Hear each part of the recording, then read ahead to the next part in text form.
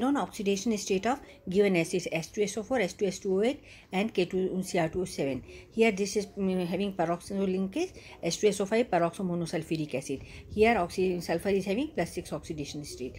In this case this is peroxodisulfuric acid. Here also both of the sulfur having plus 6 oxidation state.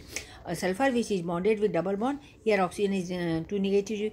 Mm, here here also 2 negative and um, OH1 negative. Peroxide linkage is always having and minus 1 mm, mm, oxidation number. So peroxo monosulfuric acid as well as disulfuric acid are having +6 oxidation state. Now we will see Cr2O72 negative also having +6 oxidation state, and CrO5 here also 2 peroxide linkage here 1, 2, 3, 4 uh, negative. Okay, so this is uh, having mm, also +6 oxidation state.